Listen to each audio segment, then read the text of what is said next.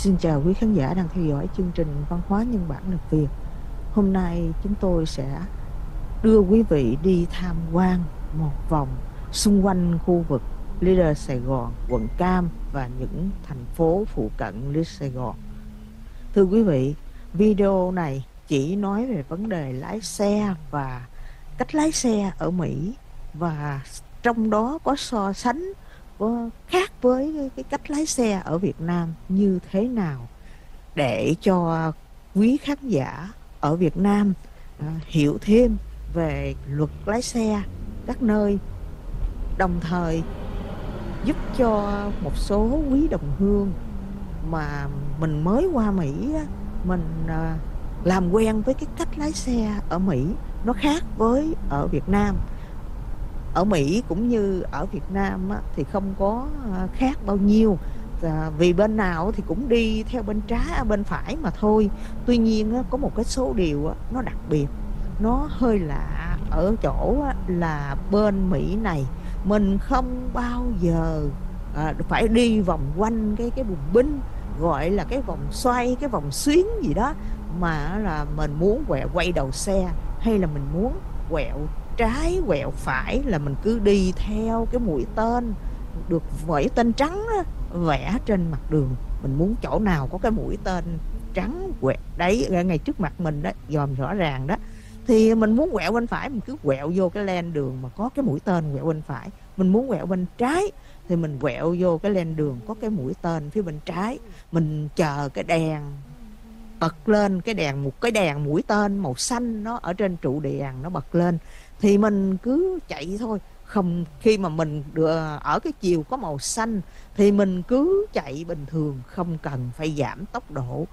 Có um, cái thời giờ có những bạn ở Việt Nam á nói là là tại ở Việt Nam á, đi xe tai nạn nhiều. Và tại vì á, tới gần ngã tư mà không chịu giảm tốc độ.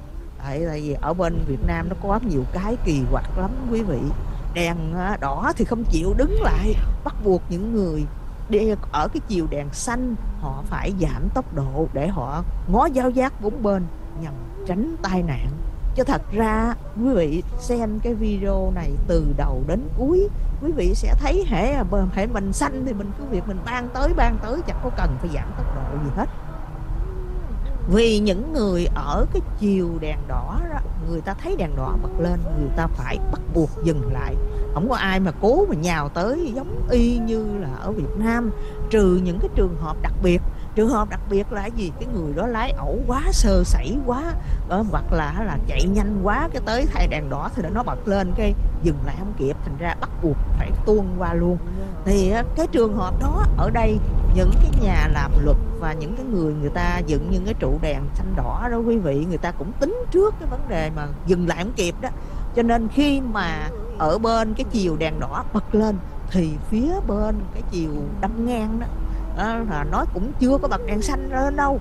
Nó vẫn 5 giây sau nó mới bật đèn xanh lên.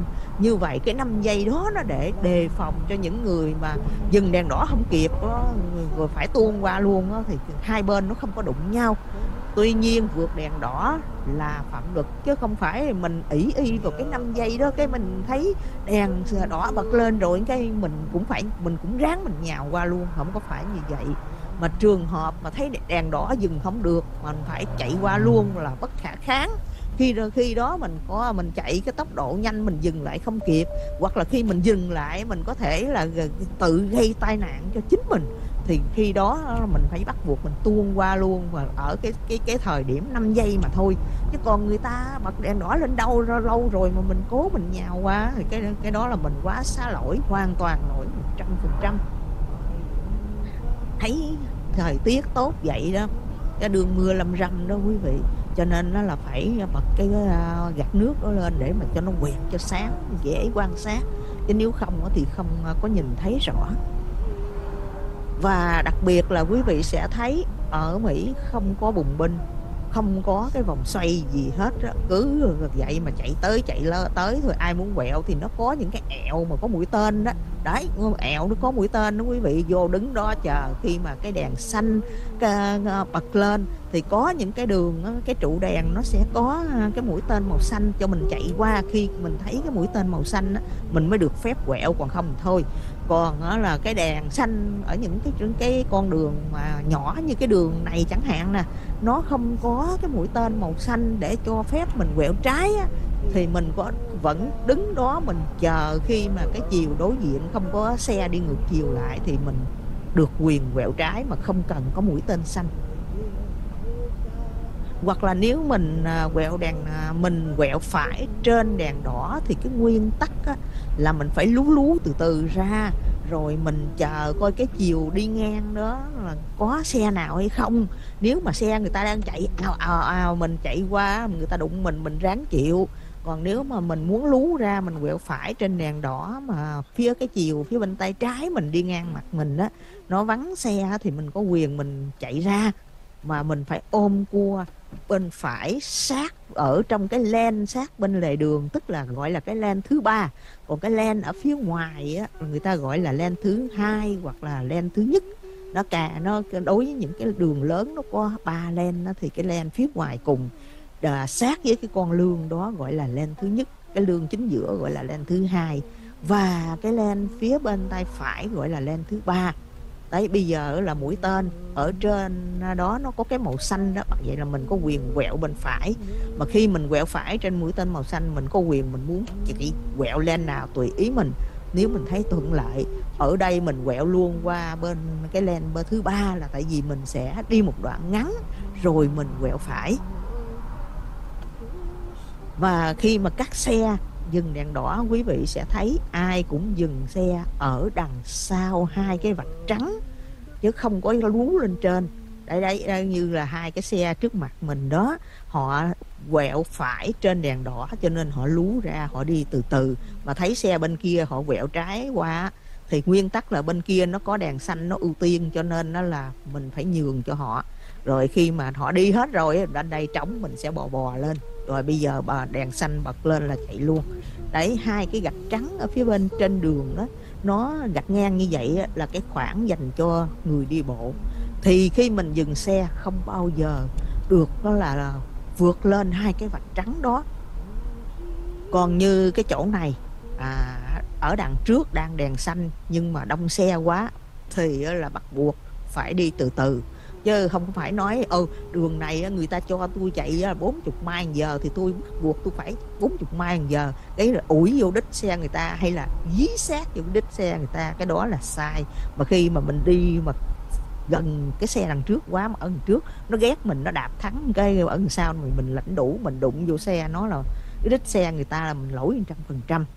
Đấy, còn như là ở đằng trước trên mặt đường ở những cái chỗ mà có những cái ngã ờ, đường rẽ ngang bên hông đó thì ờ, là có những cái đoạn người ta sẽ vẽ ở trên mặt đường cái chữ keep lai keep keep clear nói lộn keep clear có nghĩa là giữ cái chỗ đó được trống. À, thì khi mình dừng đèn đỏ mà ở phía trước nó đầy xe quá mình không thể nào mình chạy lên được uh, xe thì mình phải dành để giữ trống cái đằng sau cái chữ khiếp lia đó đó con hồi nãy mình thấy có cái xe trách màu đen nó ở cái len thứ ba nó đậu ngay cái chỗ cái khoảng người ta vẽ cái chữ khiếp lia như vậy là à, đậu sai rồi đó.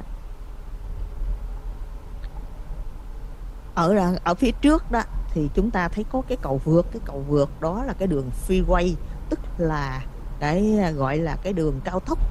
Đấy, phía bên tay phải có cái ngã rẽ lên đường cao tốc còn ở đây thì mình đang đi trên cái đường gọi là đường local tức là những cái đường loanh quanh ở trong khu vực thành phố thôi chứ không phải đường cao tốc. Và tốc độ bình quân của những cái đường local đó là 40 mai một giờ. Ở bên đây à, người ta xài cái đơn vị mai chứ không có dùng cái km thì một mai là nó bằng một ngàn nó bằng một ngàn sáu trăm mét tức là 1,6 km như vậy tốc độ 40 mai giờ thì nó bằng 64,3 km. Cái đường này thuộc thành phố Garden Row và là một trong số những cái trục đường chính của cái khu vực leader Sài Gòn quận Cam. Mỗi cái đường chính là những cái đường thẳng mà nó xuyên từ thành phố qua thành phố này qua thành phố kia và nó nối vào những cái đường cao tốc tức là đường phi quay và đường chính như vậy nó luôn luôn có mỗi một bên, ít nhất là ba lane cá biệt là phía bên cái đường buýt thì nó có tới 5 lane một bên.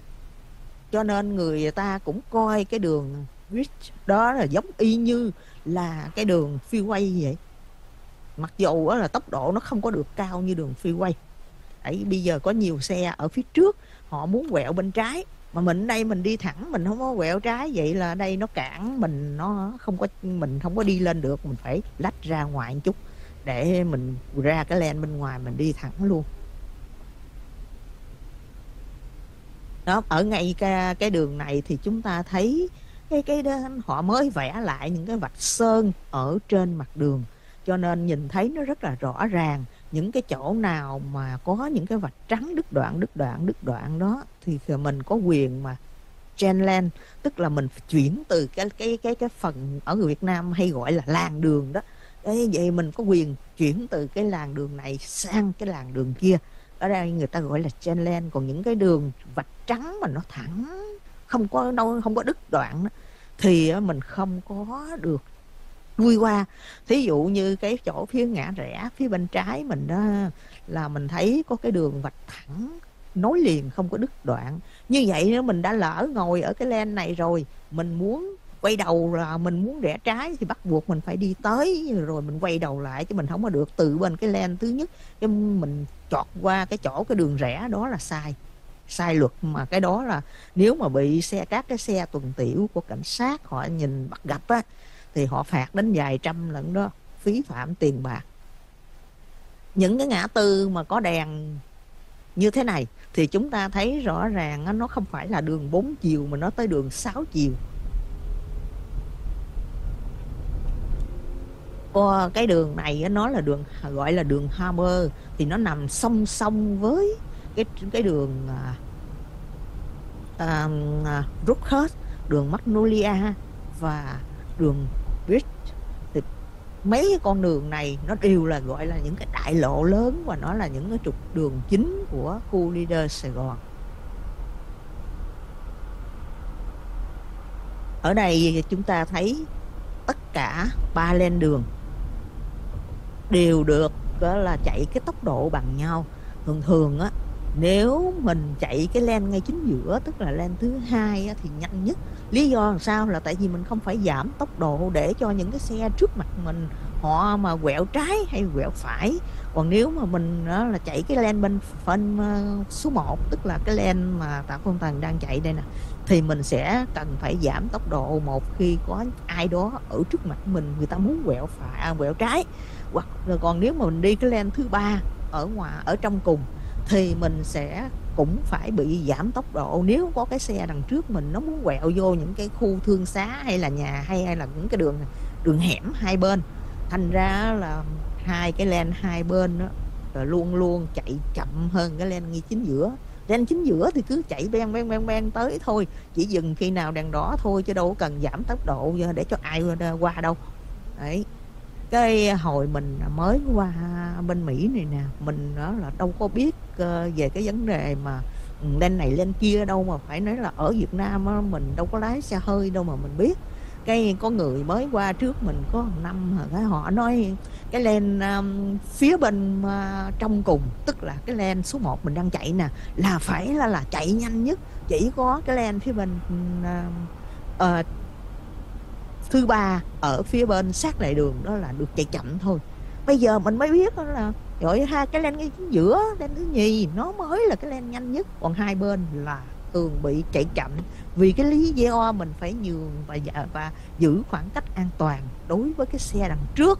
Không có ai bắt buộc mình phải lúc nào cũng phải chạy nhanh hết. Tại vì cái quan trọng nhất không phải là cái tốc độ mà người ta cấm cái bảng ở bên đường mình nhìn thấy mà là mình phải giữ cái khoảng cách an toàn với cái xe đằng trước. Làm sao khi mà mình bị có ai đó đụng mình từ phía sau thì mình vẫn giữ cho cái xe của mình, không có đụng lên cái xe đằng trước được. Như vậy thì cái thằng sau nó bồi thường cho mình, còn mình thì không phải bồi thường cho ai cả chứ mình không có thể nói tại vì là đằng ờ, trước á người ta quy định đó là à, bốn chục mai giờ. Rồi giờ thằng đằng trước nó chạy chậm quá là tôi dí sao đít nó. Ở mình dí sao đít nó nó đứng lại mình ráng chịu nha. À. Mà là mình đó là cũng không có thể nó có người người ta quan điểm như như thế là hãy mà đằng trước nó chậm thì mình chậm mà đằng trước nó chạy nhanh mình chạy nhanh. Nó như vậy thì chỉ đúng cái phần đầu mà không đúng cái phần sau. Lý do là nếu xe trước họ đi à, chậm thì mình phải giữ cái khoảng cách an toàn cho nên mình phải đi chậm. Còn mình không chịu, mình chen lên khác mình đi. Để mình đi nhanh hơn. Còn nếu cái xe đằng trước mà nó chạy nhanh quá, nó quá tốc độ, nó phạm luật, mình không thể bắt trước nó, mình chạy theo được. Mà mình phải dẫn đi đúng tốc độ quy định. Mình có thể đi ví dụ như người ta quy định là 40 mai một giờ, thì mình đó là có thể đi trong cái khoảng từ là 38 cho đến 45 không có ai bắt lỗi mình hết. Lý do là gì? Lý do đó là mình à, đâu phải là mình lái bằng à, chế độ tự động đâu mà có thể giữ nguyên một cái tốc độ đúng y chang 40 được. Nó bắt buộc phải có cái sai số cái trên là nhỏ nhỏ. Nhưng mà nếu mà là quá 10 mai giờ là không được nha. Thí dụ như người ta cho mình 40 mai giờ cái mình quất lên 50 là không có được. Cái đó là sai dữ lắm. Đấy trước mặt mình đó là chúng ta thấy có một cái xe cảnh sát đó, đó, đó, đó à, xe gọi là xe tuần tiểu đó. Họ cứ là lái đi vòng vòng vòng vòng như vậy và chúng ta thay trên đường đi chúng ta sẽ còn gặp bắt gặp nhiều chiếc xe tuần tiểu như vậy. Nhưng mà rõ ràng quý vị thấy không thấy bóng dáng một cái viên cảnh sát giao thông nào đứng ở trên đường cả. Đấy cái xe tuần tiểu họ đi loanh quanh đó để là phòng sự cố mà thôi thí dụ như là có tai nạn xảy ra ở là có một cái cuộc gọi khẩn cấp chạy tới liền Đấy. hoặc là họ nhìn thấy có những cái xe nào mà cái chạy theo cái kiểu mà quá bất thường đi chẳng hạn như là cứ lạng qua lạng lại giữa các cái len theo cái kiểu mà con rắn bò đó thì là họ sẽ chặn cái xe đó lại kiểm tra xem có bị xây ke xây thuốc phê đá xây cần hay là à, xịt rượu gì hay không Ờ, rồi bắt phải thử thử độ cồn đồ này ờ, thử báo đồ đàng hoàng. Ờ, nếu mà cảm thấy cái người lái xe đó không thể lái xe an toàn thì giữ lại không có cho đi nữa. Chứ không có tha chứ không phải là đứng rình đó trước cái quán nhậu của người ta cái chờ khách bước ra khỏi cái quán nhậu khỏi quán thì bắt đầu ào ào chạy lại ờ, người ta người ta mới rồi bắt đầu chặn xe mà không cần biết là người ta lái xe có an toàn hay không. Ờ, có nhiều cái cái tủ lượng của từng người thì nó thay đổi tùy theo cái cái tạng người và cái sức khỏe người đó. Có người chỉ uống một cái ly bia thôi cũng say, nhưng mà có người uống một chục ly chưa say.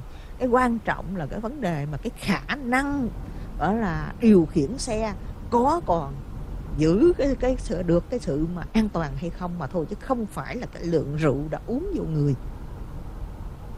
Còn ờ, cái cầu mình mới vừa đi qua đó, quý vị thấy họ làm cái dốc cầu rất là dài mặc dù cái cầu không có cao là một dốc cầu rất là dài. Để cho cho khi mà mình uh, lên gò dốc cầu rồi cái mình à, xuống dốc mình vẫn không có cảm giác được. Bạn ở Việt Nam có cái thể có có thể có à, nhìn được đó là chung quanh cái quang cảnh của được nhiều con đường hơn. Ở đây cái uh, màn hình dashcam. Mình uh, set cho nó rộng ra hai bên hai bên đường để có uh, quý vị có thể nhìn thấy vừa đường xá vừa nhà cửa hai bên luôn. Và chúng ta thấy ở ngoài đường xe đậu rất là nhiều đậu cả ngày lẫn đêm không có chuyện mà bị mà vặt cửa cái ăn cắp cái cái kính chiếu hậu xe hay là ăn cắp đồ phụ tùng xe thỉnh thoảng cái thời gian gần đây cũng có những cái vụ mà nó ăn cắp nó cưa ống bô xe đó. À, nhưng mà là à, kiến chiếu hậu xe với bánh xe đồ chẳng hạn là chẳng có ai ăn cắp mấy cái chuyện đó hết. Tại vì nó bán không có được bao nhiêu tiền nhưng mà nó lại nguy hiểm. Rồi á, là nó lại khó khăn nữa. Phần lớn nếu mà có trộm cắp nó chơi lửa xe nào ngon ngon chơi nguyên chiếc. Và nó không chỉ có cưa chui xuống gầm xe nó cưa ống bô xe mà thôi tại vì cái ốc bô đó được chế tạo trong đó có những cái thành phần là bạc á là bạc thật á, bán được rất là nhiều bán được nhiều tiền. Và à, chúng ta thấy đường phố là cái nơi công cộng mà dân chúng có thể tự do đậu xe. Và mình để ý thấy à, chỗ nào mà cái lề đường không có sơn gì hết á tức là lề đường trắng đó thì cứ tha hồ mà đậu đậu ở đó nhưng mà không có đậu quá ba ngày ba đêm. Ờ, nói vậy chứ ở trong mấy cái đường hẻm nhỏ ờ, hẻm vắng ờ, cứ đậu triền miên có ai để ý tới đâu. Nếu mà chủ nhà hay là những cái người hàng xóm ở đó họ không có uh, gọi báo cho thành phố hay là cảnh sát chứ còn là trong những cái hẻm nhỏ chẳng có ai để ý. À, thì ê, những cái chỗ lề đường một sơn màu đỏ hoặc là sơn màu vàng chúng ta không có được phép đậu xe cái lề đường sơn màu đỏ là để dành cho xe cứu hỏa hoặc là, là xe cấp cứu. Còn á, là những cái lề đường nào cái chỗ nào cái đoạn đường nào lề không có sơn ta có quyền tự do ta muốn đậu đâu ta đậu không có ai được quyền cấm. Và trước khi đậu cũng phải để ý trên cái à, lề đường đó nó có nó không có sơn nhưng mà nó có cấm những cái bảng là chỗ này cấm đậu xe từ mấy giờ đến mấy giờ hoặc là không được đậu bất cứ lúc nào thì mình đừng có đậu xe mình ở dưới những cái chỗ họ có cấm bảng đó thì thôi. Đó thành ra xe đậu ngoài đường rất là nhiều. Chỉ trừ phi những cái nhà nào giàu, họ có cái nhà rộng, họ có nhà để xe rộng, họ có sân rộng, thì họ đậu xe ở trong cái phạm vi, cái khuôn viên nhà của họ. Còn phần lớn đều đậu xe ngoài đường hết. Và những cái à, nhà dân ở đây là chúng ta thấy nãy lần trước mình có cái nhà thờ Saint Barbara đó quý vị. Ở đây à, là cái khu à, thành phố Saint Bắc um, quên rồi mình không nhớ là cái cái đường này là đường Euclid là đường mình về là một cái đường khác đường đi là cái đường khác. Để không nhớ là cái à, Saint Barbara này đã thuộc thành phố Santa Ana hay là Fountain Valley mình quên mất rồi. Tại um, rồi cái đó chúng ta thấy đường hai bên đó trừ những cái nơi mà gọi là thương xá mo tức là những cái khu mà để dành người ta kinh doanh buôn bán á, thì nó có cái đường đi ra đi vô hẳn. Hoi một cái bậc kinh để đậu xe rất là rộng và cái mặt tiền của nó của những cái tiệm quán đó nó xoay ra ngoài đường để ờ, cho chúng ta nhìn ờ, vô chúng ta thấy. Đó là những cái khu kinh doanh.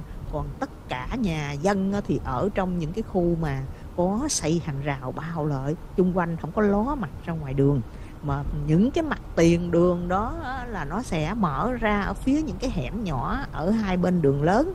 Chứ mặt tiền ở cái, ở những cái đường lớn thì không có ai mà đưa cái bản mặt tiền nhà mình ra cả. Tại vì luật cái nhà cửa ở đây nó cấu trúc như vậy.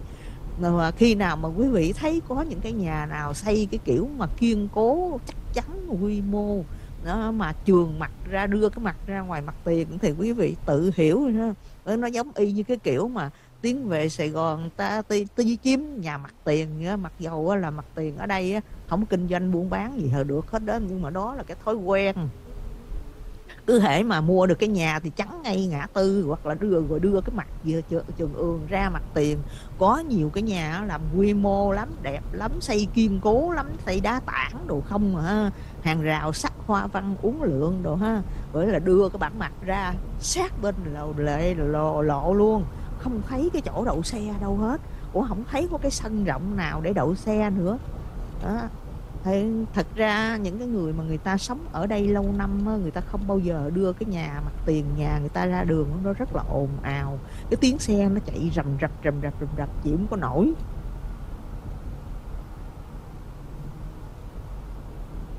Bây giờ thì à, mình à, quay lại như vậy thì đi trên đường à, đường đi trên đường Euclid. Cái đường này nó cũng uh, gần với uh, cái cái con đường chính của bên leader Sài Gòn là đường rút khết ờ, cái xe màu xanh đứng chành anh lại giữa đường ở trong cái chỗ đường chờ đó mình gọi là đường chờ. À, thì đó là cái xe đổ rác. Đấy những cái nơi mà người ta có vẽ cái vạch sơn màu vàng nhưng mà đứt đoạn đứt đoạn đó là những cái nơi mà người ta cho phép mình vô đậu xe đứng đó để chờ rẽ trái. Đó những cái xe đang chớp chớp trước mặt mình nó họ đang chờ để họ quẹo đó. Đấy, còn những cái chỗ nào mà họ nó vẽ hai cái lằn vạch thẳng màu vàng đó là cấm quẹo qua. Mà nếu mà đâm ngang cái chỗ đó và đi qua gặp xe tuần tiểu nó bắt được thì quất cho 500 500 đô la. Đấy như đây, thì là có cái đường nhỏ đâm ngang đằng trước đang đèn đỏ, cho nên mình dừng lại để cho cái bà kia, bà đi qua phía bên kia đường. Thật ra là đường đèn đỏ thì do là mình đậu lại hay là mình đi tới thì mình cũng chẳng có chạy qua được cái ngã tư này. Thì mình cứ cho người ta đi qua để người ta không có phải mà đứng giữa đường chờ. Còn nếu đèn xanh thì mình không có được quyền dừng lại như vậy để cho ai qua. Đó, nó sẽ dễ dàng gây tai nạn đường xanh là phải cứ quất tới không có chờ không có nhường ai mà cũng chẳng chờ ai đường ai người đó tự người đó chạy. Đây là đường cái đường ngang trước mặt mình là đường Center quẹo trái là đi thẳng tới trung tâm leader Sài Gòn. Rồi bây giờ mình cứ ban tới tới tới tới xuống một chút nữa thì, thì cũng mình sẽ chui qua phía dưới cái đường cao tốc. Tức là cái đường uh, gọi là ở đây gọi là đường freeway. Thành ra nãy giờ chúng ta đi trên đường chúng ta thấy toàn là xe không mà hai bên không có thấy mặt tiền không có thấy nhà ai đưa cái mặt ra hết. Vậy cái cái mà chúng ta nhìn thấy là cái sau lưng nhà của người ta. Ờ, và chung phía ngoài của nó là có những cái bức tường che chắn lại hết không có đưa cái mặt tiền ra. Chỉ có những cái chỗ nào mà đưa mặt tiền ra thì mình biết đó là những cái nơi người ta tiệm quán kinh doanh. Và người ta có những cái bãi đậu xe, tức là những cái bạc kinh lớn ở bên trong. Cái chỗ này là cái chỗ mấy năm trước cái thằng à, hùng gì đó, đậu trọc nó lợi nó sáng sớm nó nó lợi nó ờ, la lên, nó mặc cái áo cờ đỏ, nó đứng đây nè, quý vị, cái chỗ góc đường này nè trời ơi cái cái đây hả? Mùa đông hả? 5 giờ sáng nó lạnh thấy ông bà? Ông nào cố luôn giờ đó nhất là cái ngày chủ nhật. Ai người ta cũng ngủ lo ngủ chùm cho tới 10 giờ 11 giờ người ta mới thức dậy. Rồi cái giờ đó ai mà đi ra đường ai mà để ý tới cái thằng mặc áo cờ đỏ đứng đó làm gì? Giỏi ngon đi ra, ra buổi trưa đi ra cái đại lộ Bonsa đi ra Sài Gòn đó mặc áo cờ đỏ đi tới đi lui biết rồi rồi chút nữa mình à, đi thêm một đoạn nữa mình sẽ thấy chợ Đà Lạt nằm phía bên tay trái.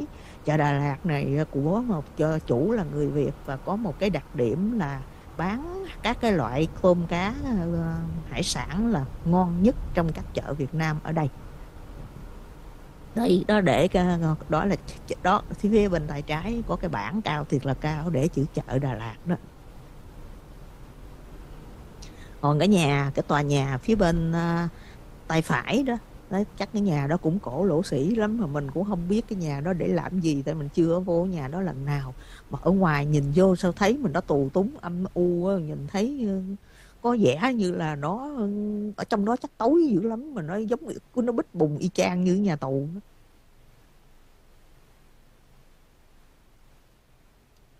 như vậy thì uh, chúng ta đứng phải đứng đây chờ cho đèn xanh bật lên rồi mình mới đi tiếp. Thì nhân tiện mình có thể à, quan sát cái à, phố xá ở chỗ này.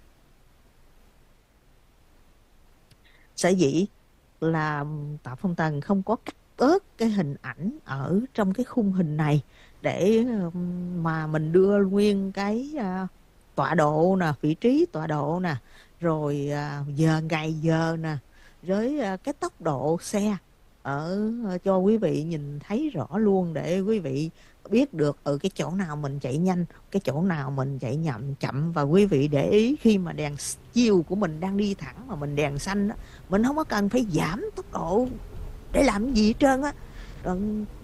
Khác với ở Việt Nam là phải giảm trong khi đó ở đây thì không cần giảm. Và cái thói quen mà giảm tốc độ khi tới đè khi tới ngã tư mà mình đang đèn xanh nó rất là tai hại. Cho nên mình qua đây mình mất cả gần một năm mình mới bỏ được cái thói quen đó. Cái tự dưng người ta, đèn xanh người ta đương bon bon cái mình giảm tốc độ lại đằng, ở đằng sau nó chạy không lên không được. Đấy, nó mà không chửi mình đó thì cũng dễ gây tai nạn lắm. Còn đối với những cái xe lớn, bự chầm dàm như vậy đó đó, trước mặt mình mình thấy đó là không bao giờ nên chạy song song với những cái xe bự như vậy. Xe càng bự càng không nên chạy song song với nó. Tại vì nó có một cái nguyên tắc vật lý đó là khi mà hai vật thể cùng chạy song song với nhau, bất cứ là ở trên cạn, trên đường hay là ở dưới sông, dưới biển gì cũng vậy, thì là cái vật nhỏ, cái cái vật chuyển động nhỏ hơn nó sẽ có cái khuynh hướng nó đâm vô bên hông của cái cái vật lớn thành ra là cái đối với cái cái xe lớn như vậy mà nó chạy cùng chiều với mình nó một là mình phải chạy rồi mình bỏ mình tăng tốc độ, mình chạy trước nó để cho nó chạy đằng sau mình. Hai là mình lùi lại mình để cho nó chạy trước mình. Mình chạy song song với nó mà mình đi xe nhỏ mình dễ bị cuốn vào gầm xe lớn, nó rất là nguy hiểm đấy, cái cái đó là cái nguyên tắc vật lý đó mà. Thì à, hồi đó có đọc ở trong cái cuốn sách vật lý lâu lắm rồi, mười mấy, coi như là ba chục năm, hơn ba chục năm rồi. Ờ, bây giờ mình vốn không phải là cái đứa mà học giỏi gì về môn lý, cho nên mình cũng chỉ nhớ chung chung cái nguyên cái, cái nội dung chính của nó như vậy thôi. Còn cái tên của cái nguyên tắc đó là cái gì thì bây giờ thật sự là mình cũng không có nhớ được. Cũng như là hồi đó học toán hết lớp 12 ra bây giờ cũng chỉ biết cộng trừ nhân chia với một số um, tính toán hình học đơn giản thôi. Đây bây giờ trước mà à, chúng ta lại thấy trước mặt mình có cái xe cảnh sát đang đi tuần đi, đi tuần tiểu mình sẽ dừng lại ở phía sau lưng nó. Xe này là máy nó mạnh nó ngon lắm cho nên á là hệ đèn xanh bật lên cái nó làm cái ào liền nhưng mà mình á, thì xe yếu hơn. Bốn máy mình không có chạy nhanh như họ được. Mà thì mình không có nhất thiết phải chạy như họ. Lý do là khi mà mình đạp thắng lại mình cũng đạp cho nó dừng từ từ. Rồi mình muốn tăng tốc độ thì mình cũng tăng lên từ từ. Như vậy á nó làm cho cái độ bền xe nó tăng lên và nó mình sai một bộ thắng mấy năm còn chưa có ăn thua gì mặc dù cái thắng của mình đó hả là nó rất là nhạy đạp nhẹ cái là đứng lại liền. Mà khi mình đổi một cái xe khác khi mà mình đổi một xe khác điều đầu tiên là mình kiểm tra bộ thắng và mình sẽ thay đổi một cái bộ thắng mới cho là nó rất cho nó nhạy. Cho cái thắng mà mình, mình phải cố sức mình đạp mạnh nó mới chịu đứng dậy lại thì cái đó là nguy hiểm bộ thắng thà thay một bộ thắng mới tốn vài trăm đô la, còn hơn á, là bị tai nạn xảy ra, lỗi lại thuộc về mình. Tại vì mình đạp thắng được. Mà mình muốn bảo vệ cái thắng xe mình xài được lâu là mình cứ đạp từng từ từ từ cho nó dừng hẳn lại. Chứ đừng có chạy thiệt là nhanh, cái đạp nó làm cái xịt lại, rồi xong cái chạy, cái làm cái xịt lại nó vừa hư, máy mà nó vừa mau hư thắng cái kiểu đó ở Việt Nam người ta dùng cái từ gọi là thắng giật cục đó. Giật cục có nghĩa là làm cái ào lên cái đạp cái kịch lại làm cái ào lên cái làm cái kịch lại. Đó làm như là bị tưng vậy đó. Bây giờ mình mới tăng tốc độ lên lại là 40 mai 41 mai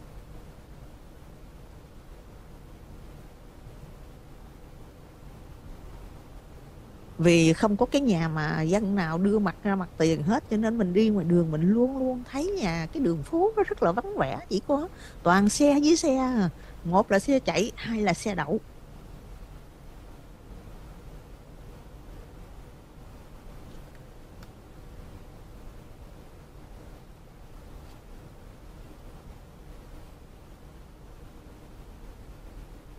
Ngay chỗ này là thuộc ờ, địa bàn thành phố gần rồ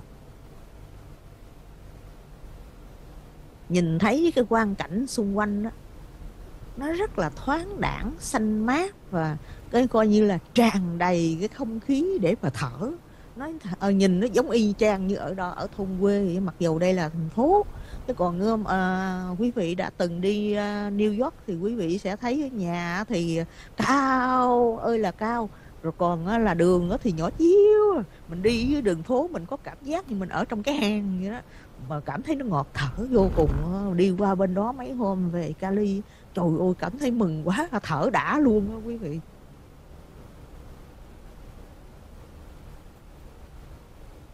Đây mình đi tới một chút xíu rồi um, mình quay lại thì nó quẹo trái là nó là hoàn thành một vòng. Coi như là chúng ta đi được đi uh, coi uh, đi du lịch một cái vòng nhỏ nhỏ để tham quan khu leader Sài Gòn và các vùng phụ cận ở đằng xa đó đó mờ mờ đó quý vị thấy có một cái lú lên cái dãy núi đó. tại vì bữa nay à, sương mù mà là trời nhiều mây xám quá mình không có nhìn rõ cái dãy núi ở đằng xa đó chứ mà trời nắng trong trời xanh thì nhìn thấy rõ lắm rồi thấy gì chứ nó ở xa lắm đó. Ờ, chứ không có phải gần đây đâu ờ, chạy ở đây thì tại vì đất nó phẳng cho nên mình nhìn thấy cái dãy núi đó nhưng thật ra nó ở rất là xa. Và mình cũng chưa có tới cái dãy núi đó lần nào hết á. Đây đây là cái chữ này là khiếp lia nè. Mình phải dừng ở đây chứ mình không có chạy tại, tại vì trước đây nó đầy rồi. Mình đâu có chạy tới được chứ xe đang dừng. À, cho nên mình phải đứng ở đây chứ mình không có được đậu ở cái chỗ có cái chữ khiếp lia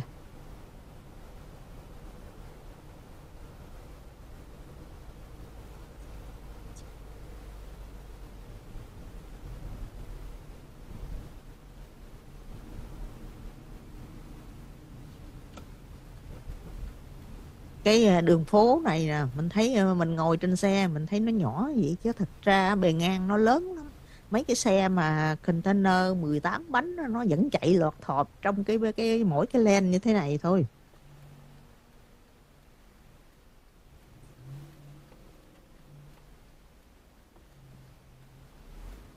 Ở đây cái loài cây mà người ta thường hay trồng ở ngoài đường nhiều nhất á, nó là cái cây cọ. Đấy, nó giống y như cây cao, và thật ra nó không có phải cao. Cái trái của nó mình không có ăn được.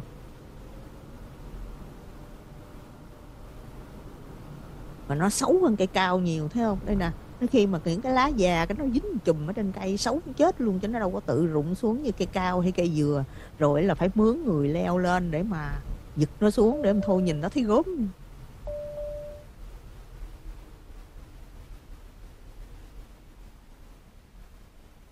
chỗ này là đường bo. Đường bo thuộc thành phố Anaheim nếu mình à, quanh quanh cái khu này á là coi là ở gần cái khu Disneyland nè.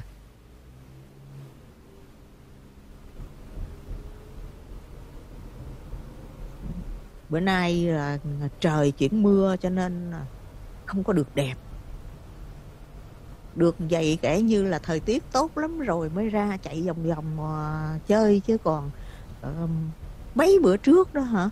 Trời ơi mưa bão tầm tã suốt luôn.